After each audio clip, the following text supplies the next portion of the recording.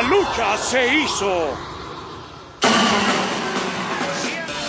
Un día como hoy del 2009, Dr. Wagner Jr. contra Cibernético contra el Mesías encerrados en una jaula hexadrilátera. Por el megacampeonato, este evento de verano de escándalo que se llevó a cabo en el centro de convenciones en Tampico y de esta forma es como se veían las caras estos tres hombres que vivían una gran rivalidad. Esta plancha desde todo lo alto por parte del Mesías. Después una desnucadora sobre la mesa. Rompieron tablas, rompieron todo lo que estaba en su paso. Y Cibernético no pudo terminar esa contienda. Grandes batallas las que protagonizaban Mesías y Dr. Wagner Jr. por el megacampeonato. El ingrediente extra del Cibernético hacía esto una auténtica bomba en el hexadrilátero y aparte encerrados. Era un gran, gran espectáculo. Con ese sillazo aparecían los Wagnermaníacos, esta fracción que ya no existe. Y con esto, con la ayuda de el último guerrero, del último gladiador de Electroshock y de Silver King, se llevaba ese campeonato Dr. Wagner Jr.